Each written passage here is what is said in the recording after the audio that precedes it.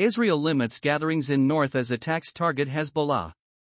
Israel has launched airstrikes in Lebanon and is restricting gatherings in the city of Haifa and other northern areas as it continues to attack targets linked to Hezbollah.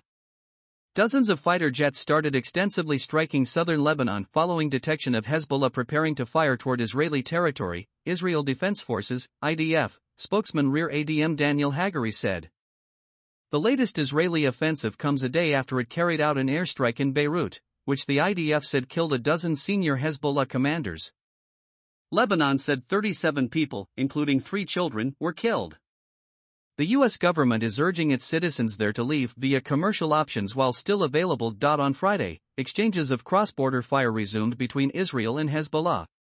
Before the evening Israeli strikes began, the IDF said earlier it had destroyed about 180 sites and thousands of rocket launcher barrels with strikes. The IDF also said more than 90 rockets were fired at Israeli territory from Lebanon. Hezbollah said it had targeted 11 Israeli military positions over the course of the day. On Saturday night, Hezbollah said it had fired dozens of rockets towards the Ramat David airbase in Israel's north in retaliation for the Israeli attacks. Earlier this week, 39 people were killed and thousands wounded after pagers and walkie talkies used by Hezbollah, the Iranian backed militia and political group, exploded on two days across Lebanon. On Thursday, Hezbollah leader Hassan Nasrallah blamed Israel for the attacks, saying it had crossed all red lines and vowed just punishment. Israel has not claimed responsibility.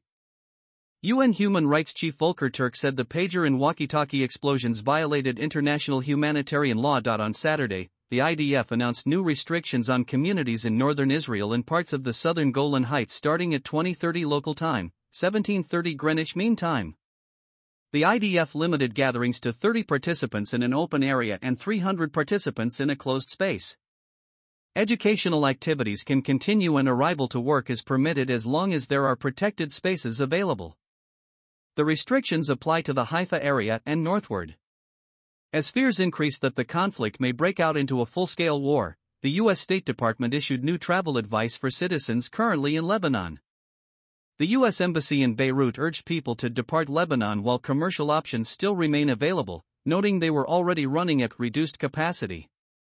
The embassy added it may not be able to assist U.S. citizens who choose to remain. Neighboring Jordan's foreign ministry issued similar advice to its citizens, urging those in Lebanon to leave as soon as possible. Cross border fighting between Israel and Hezbollah escalated on October 8, 2023, the day after the attack on Israel by Hamas gunmen from Gaza when Hezbollah fired at Israeli positions in solidarity with the Palestinians. Israel recently added the return of people displaced from the north of the country due to the cross border fighting to its list of war goals.